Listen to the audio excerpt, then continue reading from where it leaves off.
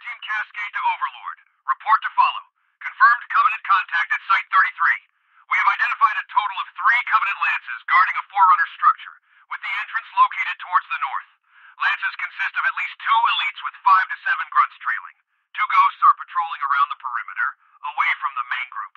We've also observed a landed spirit dropship alongside the main group, indicating a heightened level of security around the area. The Covenant troops are on high alert, scanning the area for any potential threats. It is clear that they are guarding the structure with extreme caution, and any attempt approach Vector will result in immediate contact. We will continue to monitor the situation and provide updates as necessary.